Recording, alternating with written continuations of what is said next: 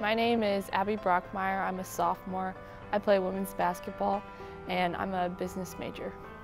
I chose SIU because I love their campus. Um, I love the facilities we have here, um, our arena and our locker room. They're just outstandingly nice. Um, and then I love the coaches here. Just felt really like home. It's a great distance away from home as well. So. This year um, I got to do a NubAbility Camp. It was actually this summer.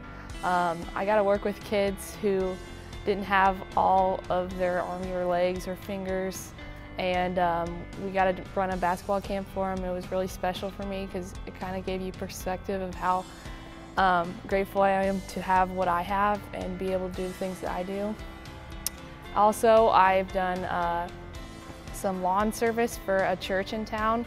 Me and some other girls on the team helped clean up uh, the landscape of a, a, church in town. I've also done some uh, community service at our uh, shelter here in uh, Carbondale. So we walked dogs, we bathed dogs, and um, fed dogs and did anything they needed us to do there. Uh, my favorite uh, volunteer event that I've done um, was definitely the NubAbility Camp.